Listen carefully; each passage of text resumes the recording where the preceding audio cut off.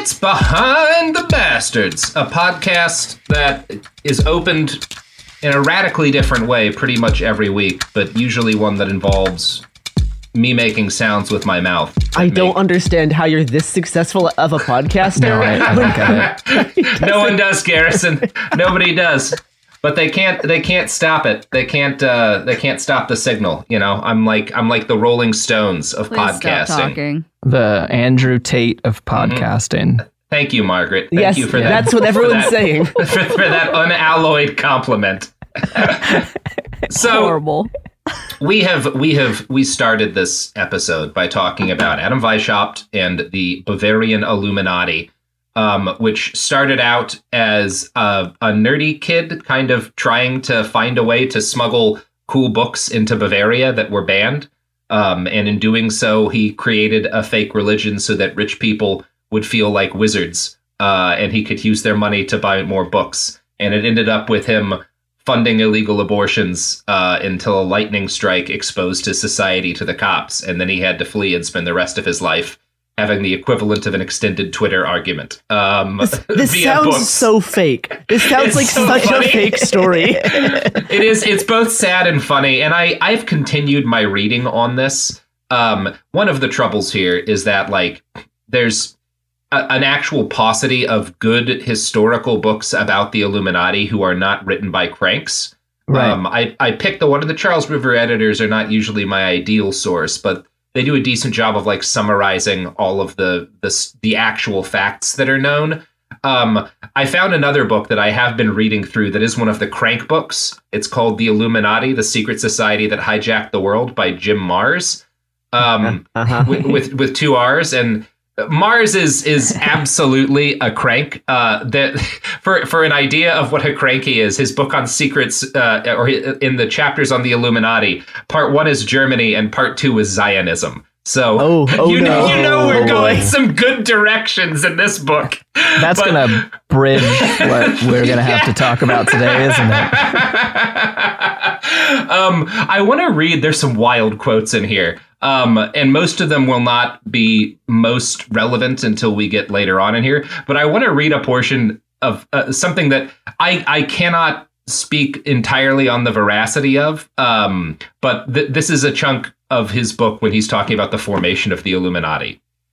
In 1779, two years after Weishaupt's initiation into Freemasonry, he wrote to Zwackenhurdle suggesting the order be renamed the Society of Bees. The bee connection again demonstrates the close ties to the Illuminati of the Illuminati to Masonry, as the beehive has long been an important Freemason symbol. Today's Masonic lodges were once referred to as hives, and any internal disputes are called swarming. One 18th century Masonic ritual stated, "The beehive teaches us that as we are born into the world rational and intelligent beings, so ought we also be industrious ones, and not stand idly by or gaze with listless indifference on even the meanest of our fellows in a state of distress if it is in our power to help them, without detriment to ourselves or our connections."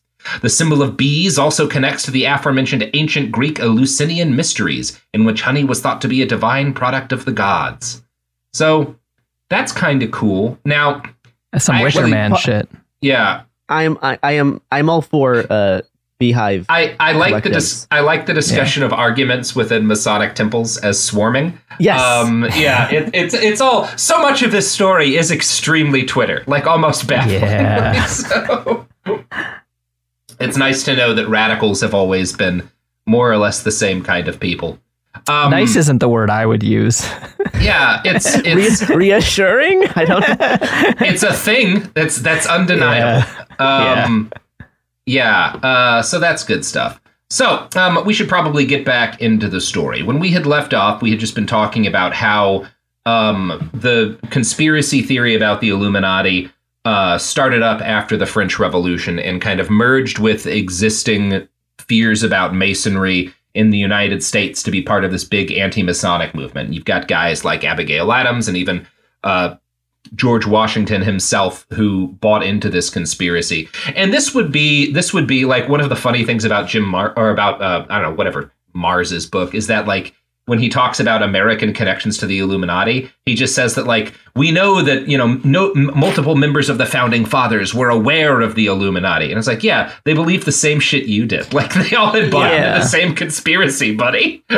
um, So far, the It's bastards is the people who believe in the Illuminati, not the Illuminati. No, the Illuminati are not bastards. Although, again, perhaps if you create a fake cult in order to do a good thing, you might wind up causing more problems than you solve. Um, That's that may true. Be, that may be a lesson from the Illuminati that we can take into us today. That's true. Um, you know what, Sophie? Let the initiates out of the cage. Uh, I think maybe we've been we've been going down the wrong the wrong uh, the wrong road. Uh, You couldn't even get that sentence out.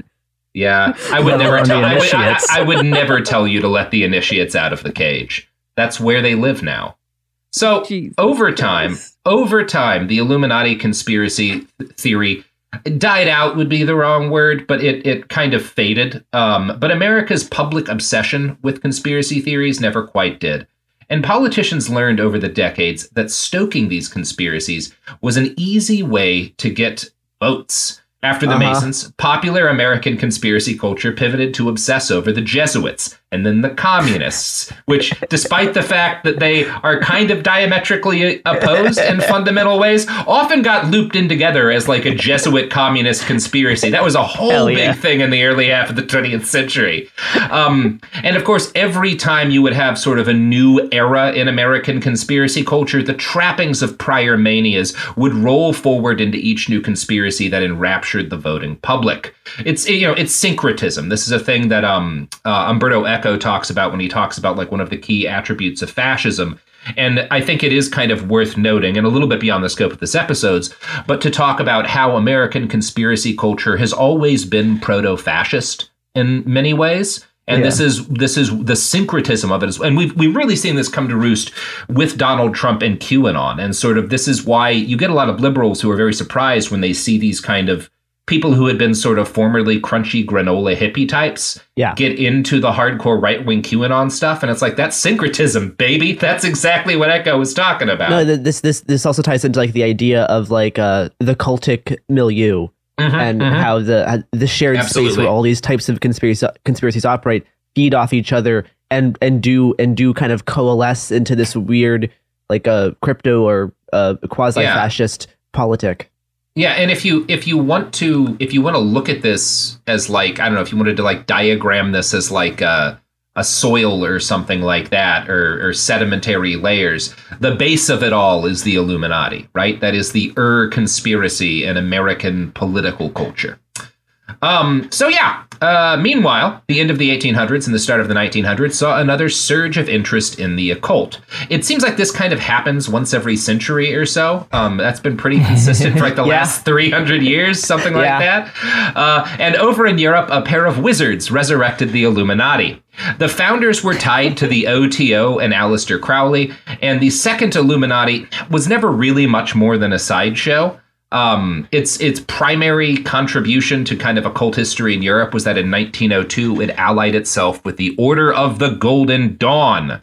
Now, the Golden Dawn had also been founded on, uh, shall we say, shaky his, shaky grounds truth-wise by a Rosicrucian named Wentworth Little, who claimed to have come into the possession of a coded manuscript that led him to a woman named Anna Sprengel in Germany, who was in touch with unknown superiors. Uh, who had taught him about a secret organization behind the the secret organization behind the you know myth of the Rosicrucians. Um, and you can see shades of kind of what uh, Weishaupt was doing with the Illuminati here. I've, I, you know, this organization has a history that's actually much older than people know. There's this group of of unknown folks, in addition to me, who are actually running things. Um, yeah, uh, I want to quote here from our, our old friend pro cult activist Massimo Introvigne again, because he's he's again. If you're gonna write a detailed history of this shit, you're going to wind up quoting a lot of cranks and weirdos. It's mostly going to be cranks and weirdos. That's this is just a fact of the matter. Westcott claimed to have found Sprengel's address, to have written to her, and to have obtained the authorization of the unknown superiors to found an order in England placed under their authority, the Golden Dawn. In spite of the great influence it exerted on art and literature, the Golden Dawn rested on a mystification. There was no Anna Sprengel, and Westcott had simply invented the whole story. It was Aleister Crowley who had been initiated into the Golden Dawn in 1898 and had immediately engaged in trying to overthrow its leaders, who in 1900 revealed the deception. Crowley, Crowley's a very complicated figure. He sure is. Um, and he, I think, in a lot of ways qualifies a- as a bastard. Um, Yeah. But one of the cool things that he did was completely overthrow every magical community that he that that he Yeah. went into. If you let this guy it's- it's into your wizard club, he's going to take over. he will take over your wizard club, You cannot stop him. And make you admit that you made the whole thing up. It's Yes, and- and and then have a lot of gay sex in the desert. So I, you know, I, I, Okay. I, I am certainly the least knowledgeable knowledgeable about Crowley in our organization. But my the thing that I always took from readings about him is that he was able to do that in all these organizations because he had he's got some jock energy to him. Yes. that like most wizards don't have. And so he's he just kind of had that confidence that let him bully his way in. Is this kind of like when punks go to like nerd conventions? We're just in charge because we actually Yeah. have social skills and we like, yeah. Oh, this is gonna this is gonna be very controversial on the subreddit. Margaret Killjoy just got canceled. Yay, I can uh, finally rest. Cro- Crowley was really the first punk, is Yeah. what you're trying to say. Mm-hmm, yeah. Mm-hmm. Yeah, he, he yeah, I, I'm going to the- take a stand and say that I absolutely no, I actually don't know that much. somewhere Crowley. underground in the vault vault of the Golden Dawn is the very first battle jacket. I'm into it. yeah, But Um, also, but you keep talking about this thing where it's like, it it seems like the cultists are the okay ones, and the conspiracy theorists are the ones who do the Nazi shit. yeah. I mean, Yes. because these these guys, the people forming this new order of, I mean, the people who kind of form this new. Illuminati and marry it to the Golden Dawn. I haven't come across any evidence that they're bastards. Like they were, Yeah. they were people who wanted to dress up and do magic. Like there's Yeah. nothing harmful about what they're doing here. um, it just, it, it's not wildly influential. Uh, Engel, who is one of the people who winds up in charge of this new Illuminati, funds it. I found this interesting by writing a series of like short stories for dime novels under a shitload of different names. Um, yeah. he, he kind of does an L. Ron Hubbard, but in reverse, where like Hubbard writes all these dime novels and then creates a cult because he wants to get out of that industry. Whereas Engel funds his little cult by writing a bunch of like shitty weird fiction. I don't know if it was shitty actually. I haven't read it. I shouldn't be judgmental like that. It might have been good weird fiction. um, his Illuminati limps on into the 1970s when they fa- fall afoul of Germany's militant post war anti cult movement. There is, we talk about this in the episodes. Sorry. Sorry. Yeah. That's just really funny. yeah, well, we talk about this in the episodes titled "The School That That Raped Everyone," um, uh, which is a dark episode about how there was an element of kind of the progressive left in post-war Germany that embraced free love politics to such an extent that they started justifying the molestation of children. Um, and this is a big part of what gets the Illuminati in trouble. I have not found any evidence that they are molesting anybody, but they are teaching sex magic. And because there are a lot of problems with other kind of people in who are broadly in the same sort of cultic milieu, you might say, as the Illuminati in this period, who are molesting children, they get caught up in. I don't even want to call it a moral panic. A lot of people were actually harmed, Yeah. but the Illuminati does not seem to have been justifiably targeted here. They were I mean- just like adults who were doing satanic orgies, which is fine. Yeah, I mean, like, but like this this complaint continues on today. How a lot of Yes. a lot of like sex cults, or specifically the OTO, is Mhm. Just kind of a sex cult for its Yeah. for, for its like older male members. This Yeah. is this is this this is something that is uh is Yeah. very very much a continuing critique. And there's nothing inherently wrong with making a sex cult for you and your friends. I've been in a couple of sex cults. It's fine.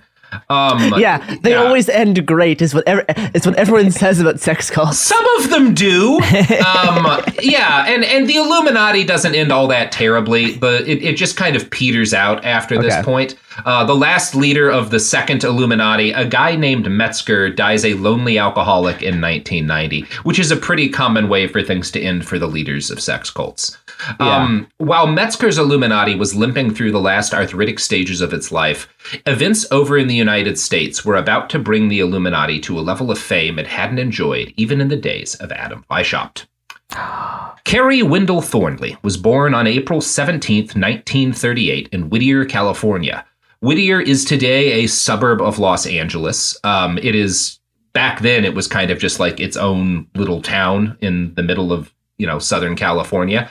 If you Google the neighborhood that Kerry Thornley grew up in today, you'll immediately be shown a map that depicts the unincorporated community boxed in by bold blue pins that indicate a Costco, a Home Depot, a Savers, a Target, and a Trader Joe's. They surround East Whittier like a capitalist pentagram, almost as if hermetic capitalist wizards were trying to keep some sort of dangerous energy contained within. These are the things you think about when you spend uh-huh. 16 hours writing about the Illuminati late at night.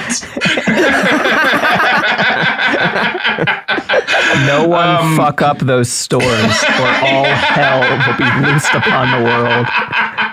Yeah, these demons the, will crawl from underneath the Costco and start taking over the suburbs. These are the seven seals of neoliberalism. Yeah. this is a John Darnielle novel, and I would read it. Uh, Kerry was raised Mormon, and for much of the first seven years of his life, his father was overseas fighting in a little thing you might have heard of called the Second World War. Most of the context we have for his childhood comes from a letter his brother wrote decades later that I found reprinted in a zine published by Kerry's Ideological Children most of the good history on Kerry you find scattered in zines that are like 30 years old. So That's it great. is a whole thing piecing yeah. it together. Uh, I'm going to read a quote from that letter now, though. And this is his brother talking. We were living behind my grandparents when I was born in what is now called Watts on 77th Street in LA, and our dad was in the Navy stationed in Okinawa at the time. When Dad had returned from World War II, Kerry was waiting to welcome him dressed in a sailor's outfit my mom had gotten him, and I was a newborn in a cradle. Dad came in the door and rushed over to see me before he hugged Kerry. Kerry got so pissed that he ran out the back door and climbed up the walnut tree and refused to come down. That event, more than any other, set the tone for Kerry's relationship with me. The rest of my life is punctuated with events in which Kerry did his best to get even with me from what I called his intellectual muggings, when I was in college to writing parodies of letters that I would send him later in life. Our father was a was a raging alcoholic, so by necessity, Kerry became like a father figure to me and Dick. So he's like a complicated guy. He's he's the fact that his dad is absent, I think, has a big impact on him, and he he feels this sense of like jealousy for his father's attention because it had been so absent, but also because his father is this violent asshole. He sort of acts to protect his younger brothers. You know, it's a mm-hmm. complicated mm-hmm. thing. I think he does, you know, he's obviously he's a kid, so there's sometimes he does shit out of spite to his brothers, but you get the feeling that he did the most that he could to try and fill that gap that was left by his dad being a non-functional person. Um, like he did the best job I think you could have expected of a kid in that circumstance. It's a difficult way to grow up. Yeah. Um, Kerry met Greg Hill, who was three years younger, in high school in 1956. The two were members of the very first generation of they're nerds. They're big fucking nerds, uh, and they were sometimes mocked by it. Think like George McFly from Back to the Future. That is exactly the kind of kids that we're talking about.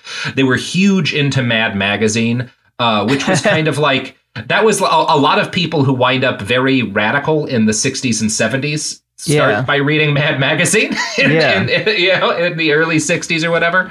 Um, and they were interested in radical political ideas, much like the ones that had animated Adam Weishaupt centuries before. They were also, again, big sci fi nerds with what one biographer describes as a fondness for crackpots. Their ch- childhoods would have involved colorful, weirdly horny comic books and the short stories of men like Bob Heinlein, Philip K. Dick, and L. Ron Hubbard. Greg and Kerry were so excited by this stuff that they briefly attended meetings of a nearby U- UFO cult as adolescents called Understanding. Greg later recalled, through our mutual general interest in wondering just what was going on out there in the, that gigantic world, and our many common specific interests in humanism, anti-religionism, an enjoyment for uh, enjoyment for Omar Khayyam, and a curiosity for the bizarre like black magic and hypnotism, plus our common warped sense of humor, we formed a close friendship. So that's that's who these guys are, right? Like they're they're kind of young kids in this boring town and they get really into science fiction and fantasy and that leads them into reading about the occult and reading all of these also kind of like mystic they're into the sufis they're into zen buddhism like they're yeah. not just into like they're kind cool. of um golden dawn stuff yeah they're, they're pretty cool actually yeah um i i would say so i don't know how this is gonna end up so but i'm gonna hold on to them as being real cool right now it, they they're it's going to end in a couple of different ways, Margaret. Everyone involved in the movement we're talking about has a very very different ending. Okay. Um, okay. Yeah. Like a choose your own adventure novel. Yeah, yeah, exactly. Um, I do want to talk a little bit about Omar Khayyam, um, who is a he he was a a guy who lived from like basically around a thousand ish to eleven hundred A.D. Um, he's a polymath, one of these guys who's like he's doing math and he's a philosopher and he's writing poetry that's still very popular today. Um, and he's it, one of the things about him that's kind of interesting and that's probably going to be relevant. That's going to definitely be relevant to the way that Kerry Thornley uses him because Thornley's obsessed with this guy. Is that for kind of centuries and centuries after his death, it became a tradition in a chunk of at least Islamic poetry to attribute your poems to Omar Khayyam. Um, and huh. this started being done. This, like, for whatever reason, in the 1800s, uh, uh, Europeans start doing this too. And this, some of this is tied in with like uh, Orientalism. I'm not a great mm-hmm. person to discuss it because this is a very influential figure. But one thing that's important to know is he is a real poet who also has become kind of this. I don't know if it's calling him a symbol is the right thing, but people decided to attribute poems to him that had not been been written by him. There's a bunch of these throughout history, these like shared yes, yes. author names. They're really interesting to me. Yeah, it is it is really interesting. Obviously, Kerry Thornley is very interested in this guy, maybe in part because of that. A lot of a lot of like occult authors also also have this. There's like Hermes Trismegistus. There's there's a lot of um even um even uh the uh uh oh I forget the forget the name. Let me look it up quick. Um well, that's why I have a new book coming out by um, uh, Al- Aleister Crowley um, is the name I write under now. See, Margaret, I'm doing a totally different thing. I'm just going to credit my next book to Stephen King and just take that money. You know, yeah. just, yeah. just just take that cash, baby. Yeah. I mean, so, in, in, terms of occult authors who also did this, there was um uh, the the uh, fourth book of occult philosophy by uh, Agrippa, probably not written no by, by the actual Agrippa um, who had um, been dead for several thousand years. Yeah, it's it's it's it's, it's just yeah, it's it's well, an interesting uh, trend that that continues because like the types of communities that were re- that were writing these uh, occult texts as groups really do get continued by the stuff that Greg Hill was actually inadvertently developing, and it's yeah. interesting like just how similar this type of stuff is. Okay, and yeah, then one of the other of these shared names, Luther Blissett is a I haven't heard of that one. Italian collective of radicals who then uh, lots of people write under this name that put out a book called Q. That's a conspiracy book that yes! came out oh, before oh, any of this, before the QAnon.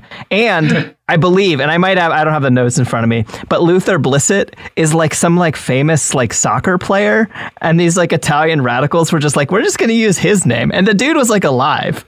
And That's they were like very funny. And they wrote this like bestseller called Q that's a conspiracy novel. Shit's weird. That is very funny. And uh, you know what else is funny, Margaret? Um, the, the stuff, the adder, the products and services, the ads supporting this podcast, all of which, uh, by the way, all of our ads are are written and produced by by Omar Khayyam. So you know, enjoy some of this classic Seljuk capitalism poetry. It's just gonna be some math ads. I hope it's gold. I bet he had gold. Might have. Everyone did back then, yeah.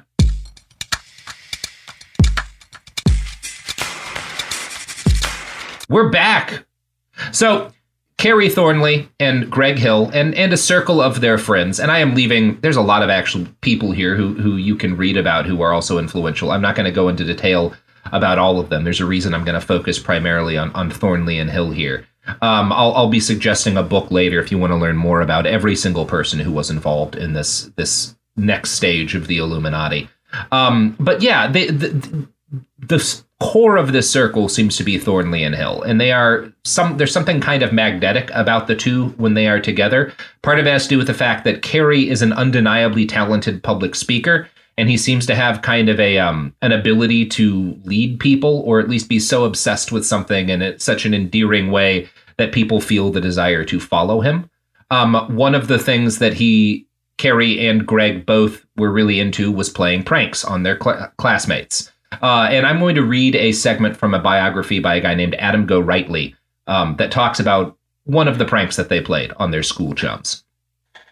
Kerry, Greg, and other unnamed cohorts made a recording of what at first appeared to be a regular radio program, with music playing innocently from a radio positioned on the apron of the stage. In, actu- in actuality, the sounds were projected from a reel to reel tape machine hidden backstage. Inserted into the seemingly mundane radio program, the pranksters had implanted a series of interruptions made by a newscaster to the effect that Soviet planes were invading the US and dropping bombs. As one classmate recalled, somebody had told me early on that it was a joke, but some of the students didn't know and got really scared. What made me feel bad was that one of the boys in the class was so scared he was praying so this is like I I kind of know where this story goes. Uh, yes.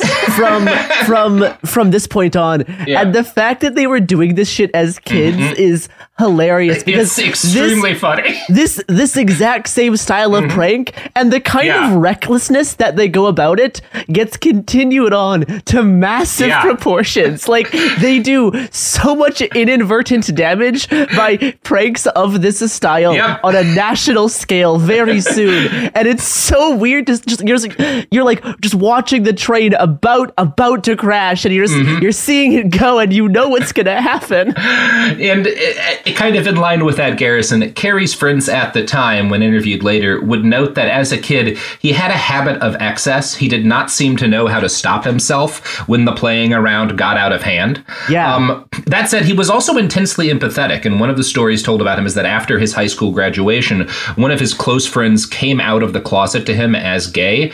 This is in 1957. Um, yeah. And that friend, when interviewed, was like, yeah, he just like embraced me. Like there was never any judgment. He was completely, completely Aww. accepting and fine. Yeah. Um, which some is of these pe- noteworthy. Some, some, of these people are like actually really decent people, and yes, like and and have had and have like pretty good politics, mm-hmm. and we're doing kind of rad stuff in the 1950s and 60s. Yeah, well, some of yeah, and and w- w- let's let's put a pin in that one. Garrison. Yeah, uh-huh. Um, Thornley graduated high school in 1957. Uh, he attended Marine Corps Reserve boot camp that summer. This is not a thing he had a choice in. Like a lot of people would just kind of join ahead of getting drafted in order to have some amount of like choice in where they went. I had a lot of relatives who were like, well, if I join, then I get to like pick kind yeah. of what I'm I have more agency in this process. Yeah. Uh, so he goes to boot camp and then he gets into the University of Southern California. Um, he spent a lot of time still at home with his friends, many of whom, namely Greg, hadn't yet graduated.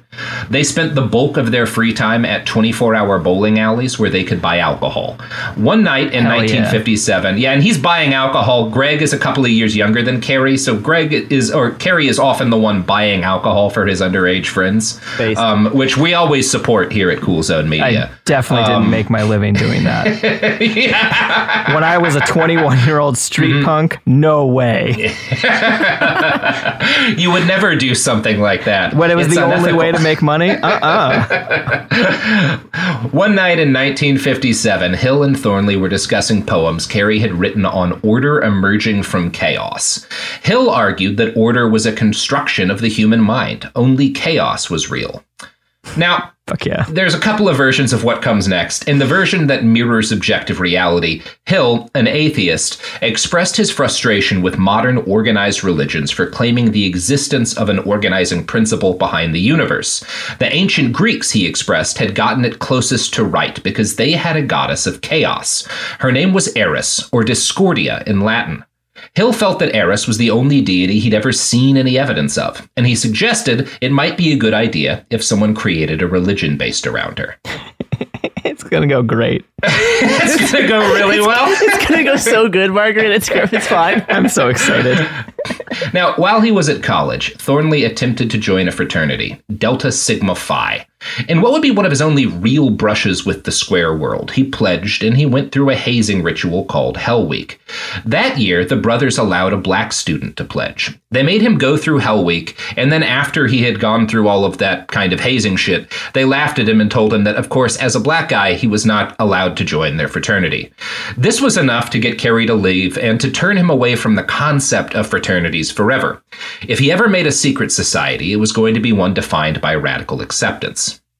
Hill and Thornley kept up their correspondence on the subject of creating some sort of like you know, they're, they're talking about doing the same kind of shit that Weishaupt is doing. They're just Yeah. they did. They're just talking about doing it from a, a, a perspective of like this would be kind of a funny thing. Um, and they It's kind just, of chat about it. it's it. just a prank, bro. It's just a prank. Yeah, it's, it's, a prank. on. It's fine. They're It's just a joke. It's, it's casually, and it, it is mixed with things they seriously believe. You know, Hill is. Yeah. You might call Hill a very early atheist activist, right? You know, pre Dawkins, pre all of that. You know, that kind of guys who became really prominent in the late '90s, early 2000s. Hill is that in the late 1950s, early 60s. Mm-hmm. but also, he's he's like much less insufferable than the guys no, that followed. yeah, I, I don't because, think he is because he insufferable, yeah. understands like the chaotic nature of existence. Yeah. Yeah, a- and Thornley, I think, i- is is simpatico with Hill on a lot, but Thornley is a little more mystical, right? Like, Okay. I, I, yeah, uh, it, it- he seems to be kind of more moved by that stuff, although not to an degree that a degree that it seems to like grate on Hill, who is kind of fundamentally a materialist value uh, or, or vision of the universe. That's at least my take on this. There's so many much that also that's very contradictory about these guys. So if you do your own research on this, you may come to some different conclusions about some of the, uh, this than I am. It really depends on which zines you stumble into. um, And like a lot of these guys who were writing stuff about themselves Yeah. wrote it contradictory on purpose to make things confusing because Mm-hmm. Yes. they, because they thought it was a funny prank. because they thought it was a funny prank. This so is all of French philosophy. I really, uh, yeah. yeah. Thornley winds up joining the Marine Corps. Um, you know, he after he does his like uh, a little bit of time in college, he becomes active duty in the Corps, um, and so he spends a couple of years as a Marine. And while he is a Marine stateside, he spends I think it's a little less than a year serving alongside a bright young man that you might have know heard of named Lee Harvey Oswald. Uh, and Kerry and Lee Harvey Oswald become pretty good friends. they are they are they are buddies, and one of the things that Kerry likes about Oswald is that he's a little bit of a prankster. just a, funny just a prank he's gonna get up jokester, just a just a kooky guy. That's what everybody knows about Lee Harvey Oswald. He's going to tell a very famous joke in the not too distant future from this point. Gets him a lot of attention. It's a lot like yeah. hit, hit, hit tweet, hit tweet. There we go. Gonna, I'm going to gonna read another advertise the projectors under this one. Yeah. I'm going to read another quote from Adam Gorightly's book. Quote Later, Kerry would describe Oswald as the outfit eight ball, earning this dubious distinction by openly subscribing to communist newspapers such as Pravda and cracking jokes with an exaggerated Russian accent, answering questions with da or niet, and referring to his fellow Marines as comrades. It was common knowledge that Oswald was studying Russian and was fairly fluent in conversational Russian. Because of this, he acquired the nickname Oswaldskovich. and this is No one, no one's reporting this. You're in a war against Russia. And No, one no. guy's like, I'm a communist. see this is actually i wanted to talk about this this is a thing i think a lot of folks who because of the fact that they are more on the left side of things hmm. and maybe don't have a lot of firsthand experience with the military don't get so much because there's like there's like a conspiracy theory going around right now right that it has been going on for a while but because it was pat tillman got brought up at the Super Bowl by those fucks at the NFL. This was was talked about uh, recently, where folks are like, "Oh, he was obviously murdered by his own guys because they heard him talking about how the war was bullshit and like saying like anti-American stuff, and so they they assassinated him." This is a conspiracy theory. That's not what happened.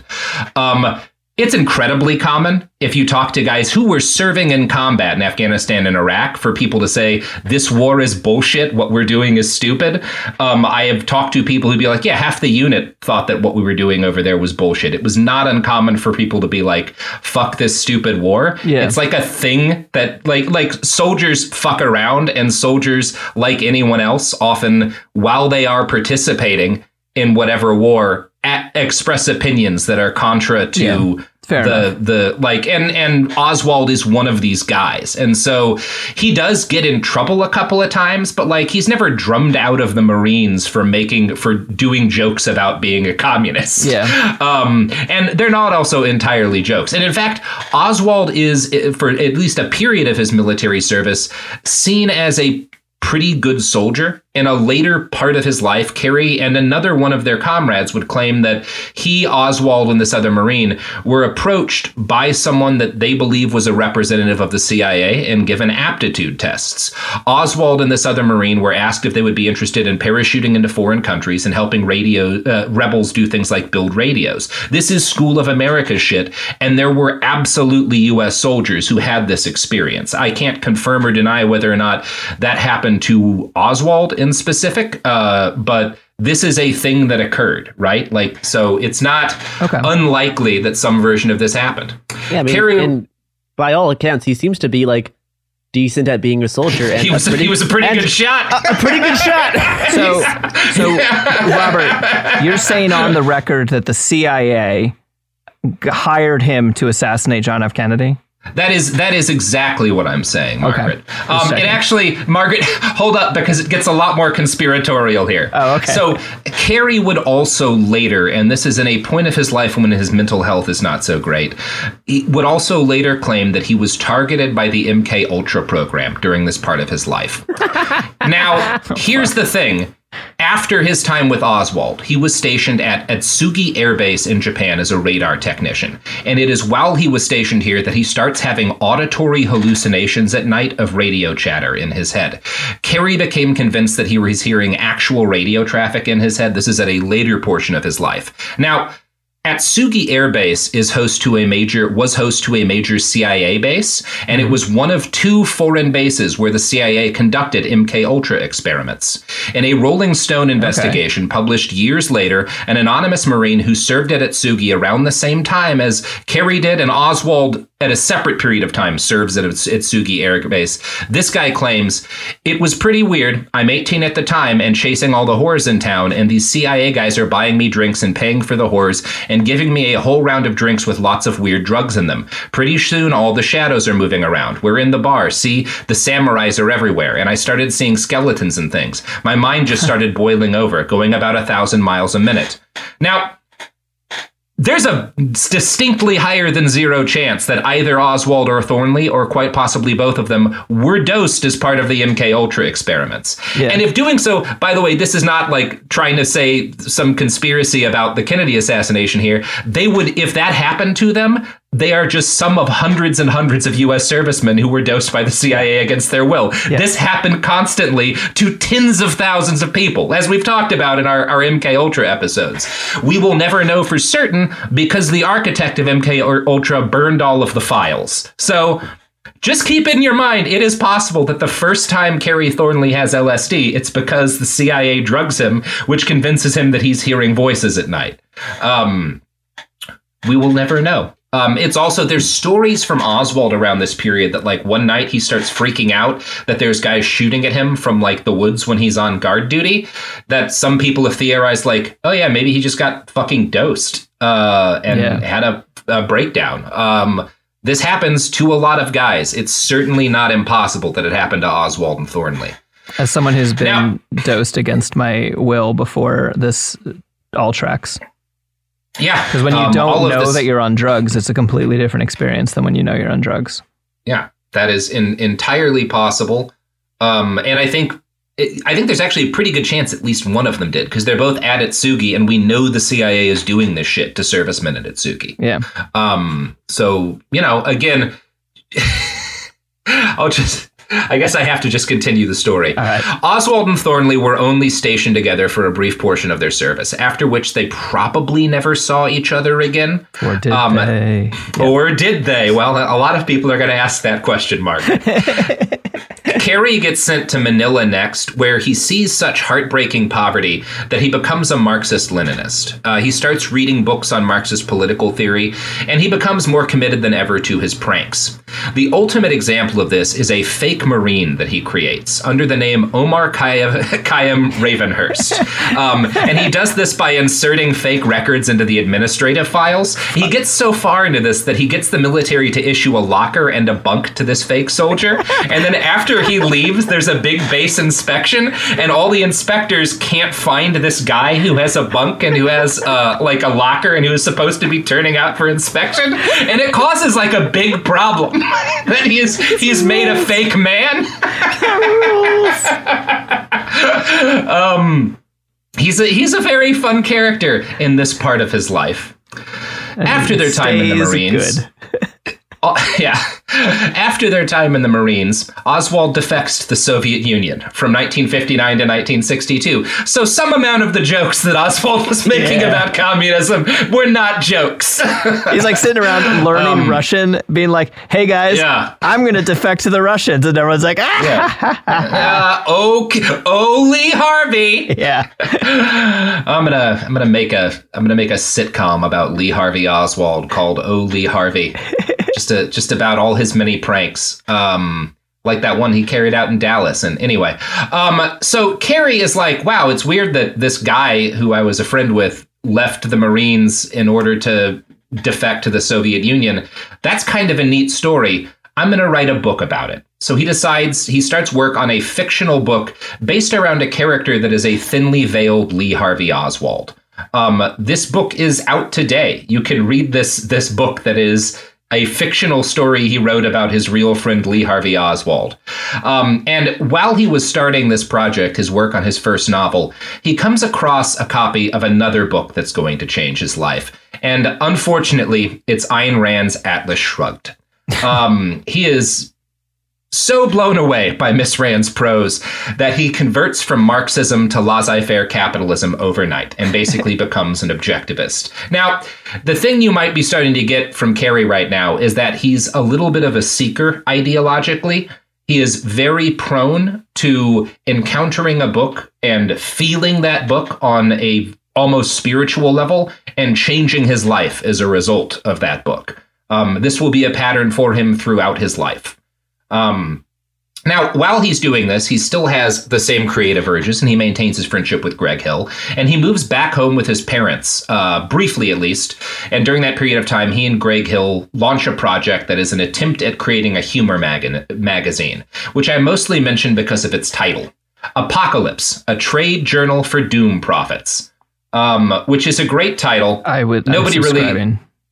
yeah, nobody. I haven't found a copy of this. I would love to. I don't even know if it exists anymore. This is proto zine culture. Um, which, by the way, these are going to be two of the guys generally credited with inventing the concept of zines. Um, and uh, yeah, they uh, this this particular magazine does not work very well. Um, so you know they uh, they they they give up that project pretty early on. Life back in Whittier grated on them both, particularly the fact that the police would keep pulling them over for wandering around at night with no clear purpose, which was legal back then. There were actually laws about like being out at night without a, a reason to be out at night. Um, so they decided to move to a place where there were no laws about staying up all night and being weirdos. And that place was New Orleans. And uh, yeah, I think that's a good point to lead into an ad break.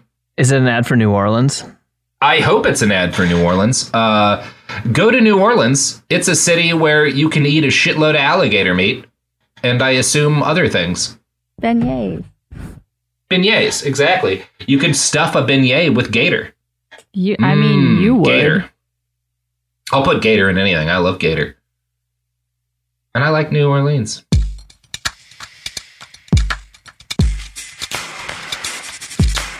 Ah, we're back. We're back from New Orleans. Um, so they moved to New Orleans in 1961, and Kerry continues work on his novel, which he has decided to name The Idle Warriors. After Oswald got back from the Soviet Union, he wound up moving to New Orleans too. Uh, he and Thornley are living just blocks away from each other, and Thornley would claim for the rest of his life that he was unaware of this, that they never saw each other again. Huh. And it's worth noting that according to Kerry's friend Becky Glazer, Kerry spent his time in New Orleans, quote, getting high off of everything. So it's not odd that he would have been unaware. There are stories that he gets high smoking banana peels, which do not get you high. Um, but Kerry Kerry claims like he makes blunts out of banana peels and claims to get wasted off of them. Uh, there's going this to be some stuff later in the story that makes this make sense. this is more what I uh, think of New Orleans about is instead of gator yeah. meat is getting high off of everything. So yeah. Well, that is again. So Kerry's going to claim I didn't see Oswald. Mm-hmm. There's a decent chance of that purely because like he is spending most of his time getting wasted and hanging out with like weirdos on kind of the fringes of society. Um, and this is what's going to wind up bringing him into contact with a number of people who later wa- become central parts in some of the early JFK cons- assassination conspiracy theories, people besides Oswald.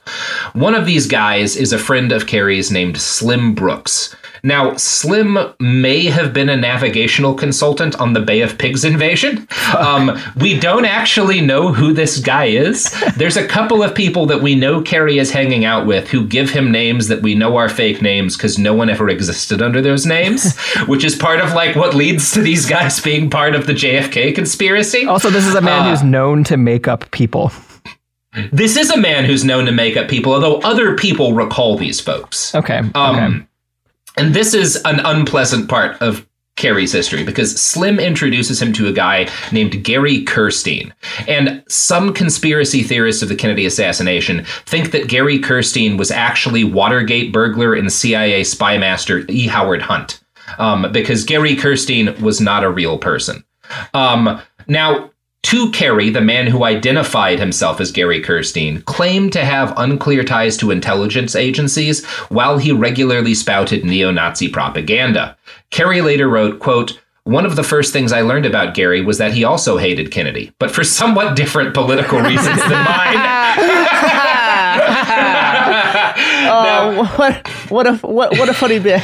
it is it is a funny bit. Um, the bit's gonna get funnier. Quote, he expressed his dislike for Jews, Poles, Gypsies, homosexuals, oh, okay. Russians, Mexicans, and so on with a chuckle, usually, which left me with room to assume he wasn't really very serious about it.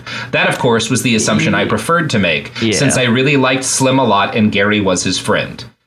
Now, this is where we're starting to see some of the moral downsides of being as open minded a dude as Kerry was, because he's kind of willing to be like, well, this guy likes talking a lot about Nazi stuff, but maybe he's joking. Um, uh, I like his yeah. friend, so I'm not going to cause a problem, which is a bad thing to do. Yeah. And Gary makes another bad decision after this point, which is he decide he he it kind of becomes a common thing for him when he's hanging out at bars with these guys to joke about murdering President John Fitzgerald Kennedy. Now, this this may have been recorded, um, and it happens often enough that numerous people have experiences of Kerry talking about killing JFK. He puts up posters calling for JFK to be like arrested or otherwise taken out of the presidency. Cool, which Oswald um, might have seen. it's not impossible. Um, although, uh, yeah, uh, this is what does he have framed. against JFK at this point? We're we're, we're going to talk about okay. that, Margaret. So there's a couple of things he has against JFK.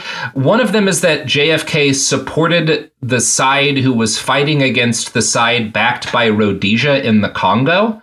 Um, it is unclear why he was angry at. He talks a lot about something called the Katanga Massacre, which during the Katanga War, which is this war that happens in the Congo, there were massacres on both sides. I don't know specifically what he was talking about there.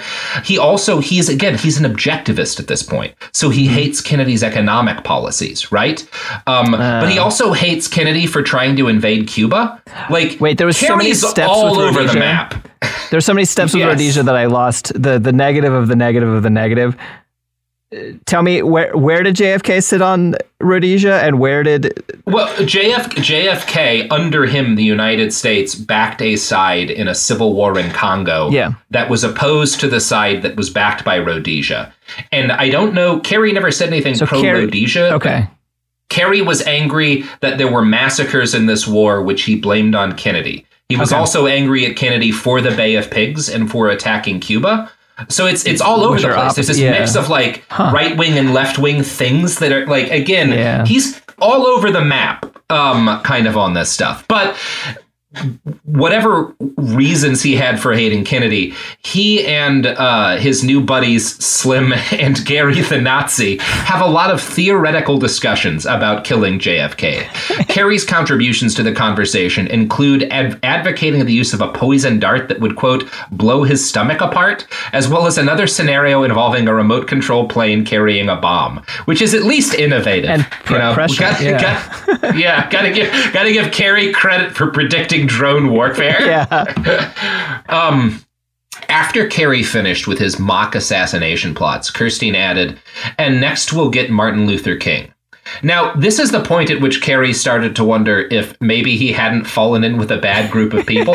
but again, he has terrible judgment and he just kind of lets this slide. Another example of his terrible judgment comes when Gary Kirstein pays him to help research a book with the title Strap in for this one, folks Hitler was a good guy. Now, mm. Mm. the premise of this book. Uh-huh. What is that? Tell, tell, please, please enlighten me on. Oh, it's it's a little different than what you're expecting. Okay. The premise of this book is that all of the other Nazis in the Third Reich were worse than Hitler, so it's good that he was the Nazi who wound up in charge. Now, Ooh, this is an uh. insane thing to write a book about. this is this is full stop idiotic.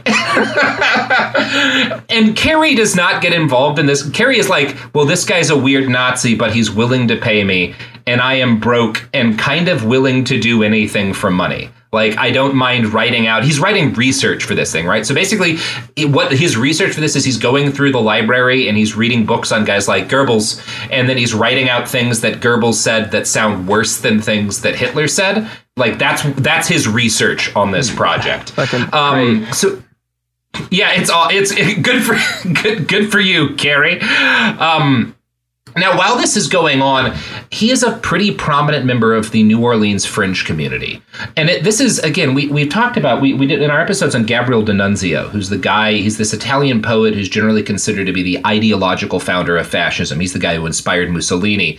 He takes over this city on the coast of, uh, in between kind of, uh, it's in Croatia now, but it's it's near Italy.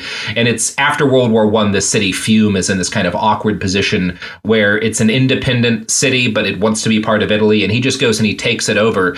And D'Annunzio's like a proto fascist, and a lot of the guys who back him in this are proto fascists, but also a lot of them are anarchists. Yeah. And there are like anarcho syndicalists involved in the government of Fiume and even some Marxists.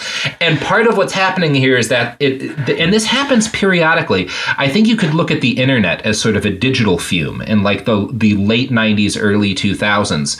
And we're in another, New Orleans in this period is another similar situation where you've got all of the these kind of fringe people, many of whom are going to be very influential in the 1960s, are going to be big parts of like the hippies and all this stuff that happens, are like hanging out with like weirdo objectivists and Satanists and occult people and Nazis. And they're all hanging out in a lot of the same spaces because none of them fit anywhere else. Yeah. And and that's kind of what happens to, in periods of time and places. This is like a this is a, a, pattern that repeats itself, which I'm not saying to justify on a moral level. Like no, you should no. never sit down and talk to or work with or take money from a Nazi for a job like this. That's an immoral act. Full stop. I'm saying that like this pattern of you having all of these different radicals coming at stuff from different views. This happens repeatedly in history. Like the it, punk it, scene. It just like that, the punk scene, yeah. right? Then in yeah. the punk scene, there's a lot of work putting into making sure Nazis can't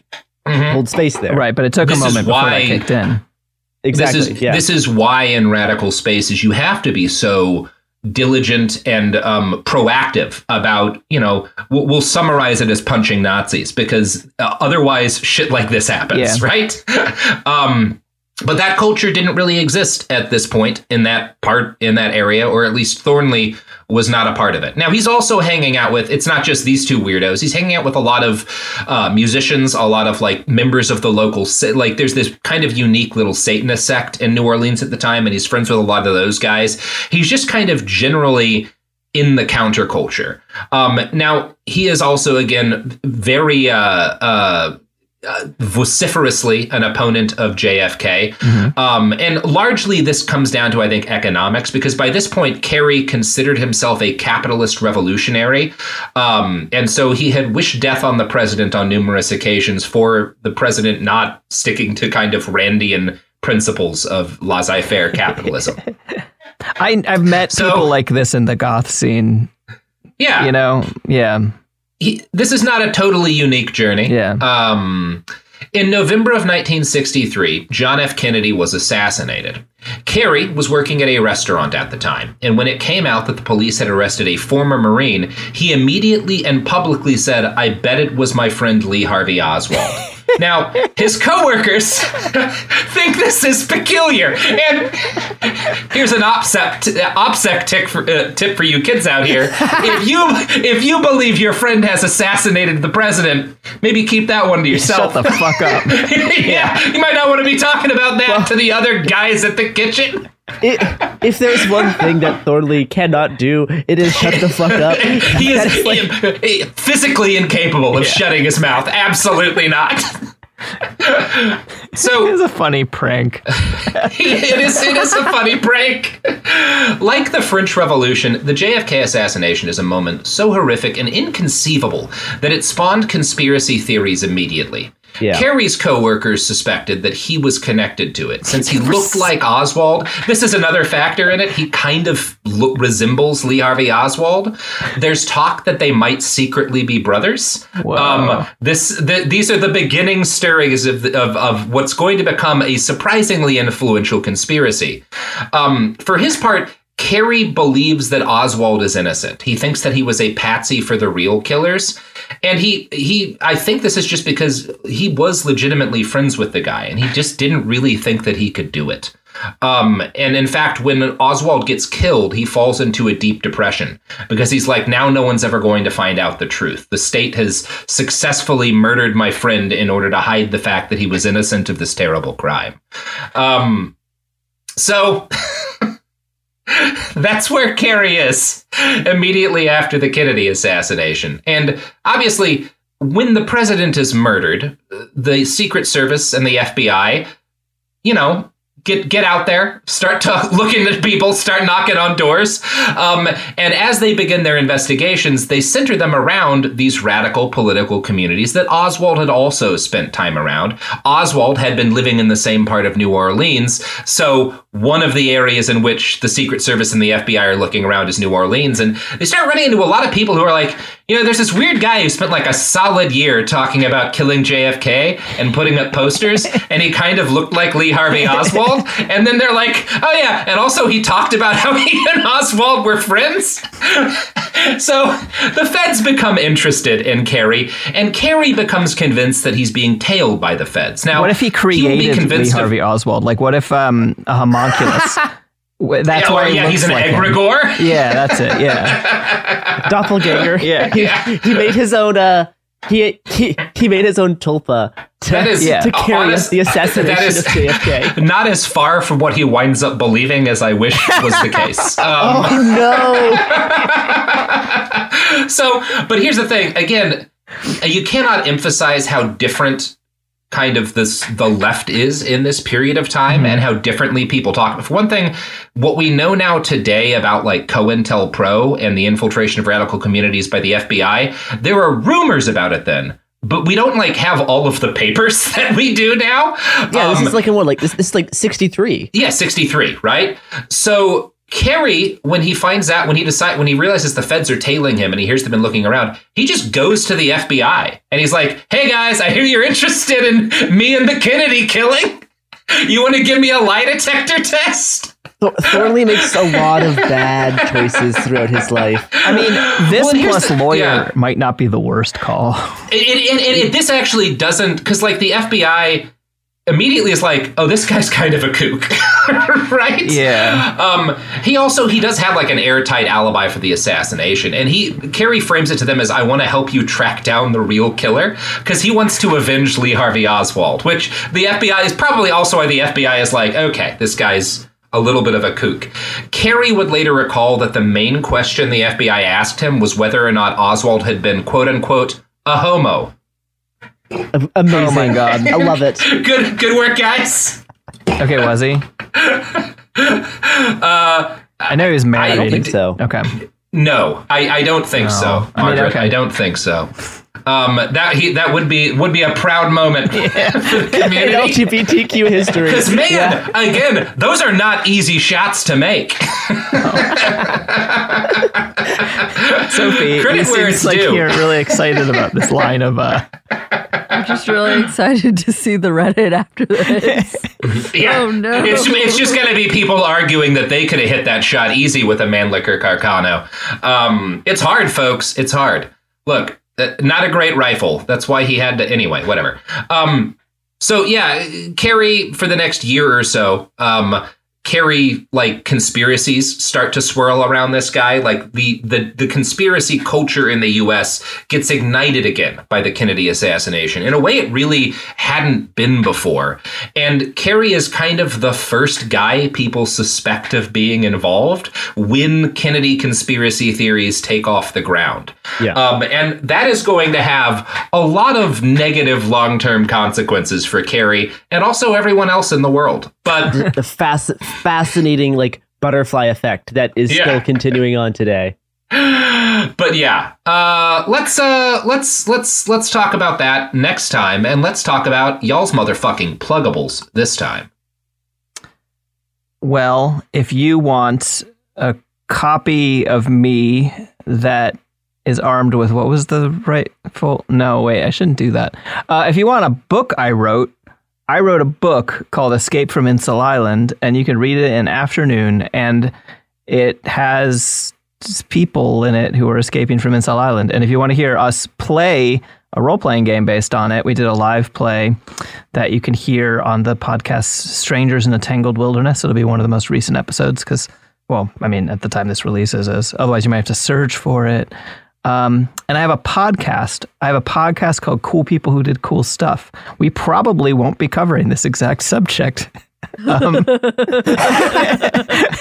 and well, now, yeah, you know, Margaret, this is interesting. I actually did escape from an incel island mm-hmm. once. Um, I think I think you people in the East Coast call it. Ro- Rhode Island. Yeah, Rhode yeah, Island. Yeah, yeah, yeah, yeah, Yes, yes. Very similar to your story, my experience. Yeah on Rhode Island. Yeah, it's just made of roads. Also, not an mm-hmm. R- roads and incels. Yeah, in the '90s when I did like weird website zine stuff, I definitely wrote weird things about being like, "Why is Rhode Island lying to you about everything?" And it's. Not I think it's it's a great it's a great place to target uh, for for like cruel jokes because like four people live there. So yeah. what are they gonna do? yeah organize against us well and it, it's because i was involved actually the culture that i was involved in in the 90s was like irc discordian stuff so i was hanging out with like older goths who were all part of this shit so yeah anyway. of the shit we're about to talk about next well, episode garrison if my plugs are if you want to contribute to uh uh uh well it's it's not it's not quite discordian but if if, if you want to feel if you want to feel like you're contributing to the work of of people in in very secretive groups who are doing who are doing uh, important work. You can donate to the Atlanta Solidarity Fund. Um, that is the main thing I'm going to plug, along with my my my four part series on Stop Cop City that was just released on It Could Happen Here. And uh, yeah, let's uh, you know support people in Atlanta um, where this story ends, by the way, uh, we are really? we are we are building to the city of Atlanta, Garrison. I, d- I so. didn't. Know, I okay, and that's I because of the name Atlantis, which actually that's the right. city of Atlanta that, that came up from Atlantis. underneath the ocean. Um, I, I, I have been I have been screaming about this for years into my CB radio, Margaret. Very yeah. excited to talk with you all about this. um. Anyway, Go, go to go to hell, all of you. Go to hell. I love you. Go with Christ. To hell. Behind the Bastards is a production of Cool Zone Media. For more from Cool Zone Media, visit our website, coolzonemedia.com, or check us out on the iHeartRadio app, Apple Podcasts, or wherever you get your podcasts.